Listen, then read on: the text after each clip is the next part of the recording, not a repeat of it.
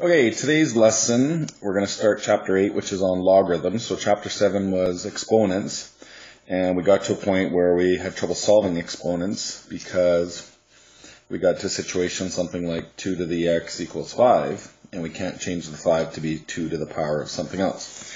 So this is where logs come into play. And the first definition, or the first thing you want to think about with a logarithm, is it's just an inverse of an exponential graph. So in terms of a graph, remember when we do inverses, that's a diagonal reflection, or in other words, we just trade our x and y coordinates.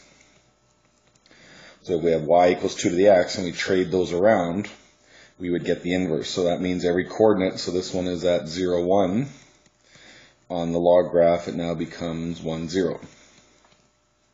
And so on. So every other coordinate just flip-flops its location.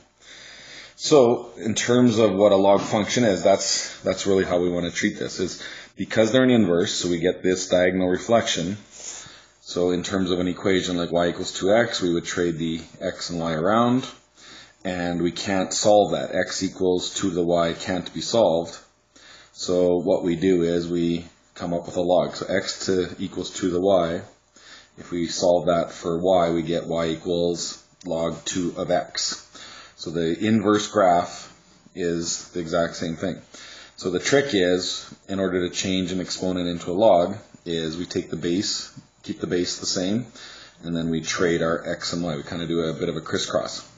So if we look at this 5 to the 3, we would write that as log 5, so the 5 base number stays the same, and then we crisscross. So the 125 goes on that side, and the 3 would go on the other. So log base 5 of 125 equals 3 is the exact same thing as 5 cubed equals 125. So what you're basically saying is the base number of your log, 5 to the what, equals 125, and then it would be 3.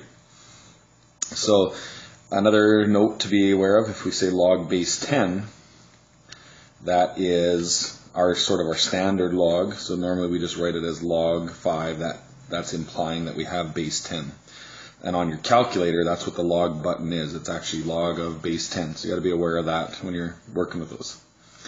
Okay, so let's let's go through the graphs and kind of work backwards a little bit here. So for our regular graph, our regular exponential graph, so y equals 2 to the x. I got the x not done right. So 2 to the power of x, we have a domain of xer. Our range would be greater than 0.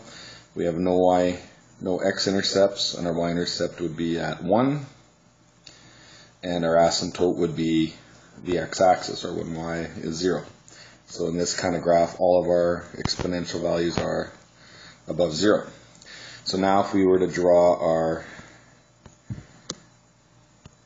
log graphs, remember it's the inverse, so that would be the the diagonal reflection, so that would be where our reflection line is and then all of our coordinates trade. So this 0, 1 will now become 1, 0, and another one, so this other one's at 2, 4, it'll now become at 4, 2, and we'd end up getting our graph looking something like that. So in this case, if we go through domain and range, our domain now is any number greater than 0. Our y is yer. Our x-intercept now is at 1, 0. We have no y-intercepts and our asymptote would be at the line x equals 0. So we get a vertical asymptote. So you can see, because they're inverses, all of these things just trade. Our domain and range just flip-flop. Our x-intercepts and y-intercepts kind of flip-flop. And our asymptotes goes from x to 0, or x to y. Okay, so let's do a little bit of practicing. So we're going to use this formula to trade back and forth. So 3 to the 4th equals 81. As a log, we'd write that as log base 3 of 81 equals 4. So that means 3 to the power of what equals 4, which is 81, so that's good. This next one would be log base 36 of 6 equals a half. And that's true because remember 36 to the half, that's like square root of 36, so square root of 36 is 6, that's true. And let's switch these ones the other way around, so that'll be 5 to the 3 equals 125. So yeah, remember your base number is the same, and then crisscross your 3 and the 25, 125 in this case. This one, remember, it's base 10, so you'd have 10 to the power of 4 equals 10,000. And let's actually solve, in this case, all these ones. So we'd have 2 to the x equals 32. And we can solve these like we did before, change the 32 to be 2 to the 5. So that means x equals 5. Okay, the next one, we'd have 100 to the x equals 10. So we change the 100 to be 10 to the 2, so 10 squared. And that'd be like 10 to the 1, so we'd have 2x equals 1, so that means x would be 1 half. The next one, we'd have 3 to the x equals root 27. Change those to the same base. So 27 would be 3 cubed, so the, the root would just be square root, which is a half. So we'd have, in this case, x would equal 3 halves.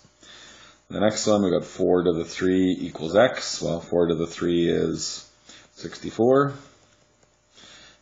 x cubed equals 125. This one we can actually solve. How do we do uh, get rid of a cube root? You just, or a cube, you cube root it. So the cube root of 125 is 5. And the last one, we have 10 to the x equals 0.01. So 0.01 would be 10 to the negative 2. So in this case, we get negative 2. And that's it. So understanding, first of all, what a log is, is being just the inverse. And then after that, just converting things back and forth to rewrite them in an exponential form and solving it. And that's all for this lesson.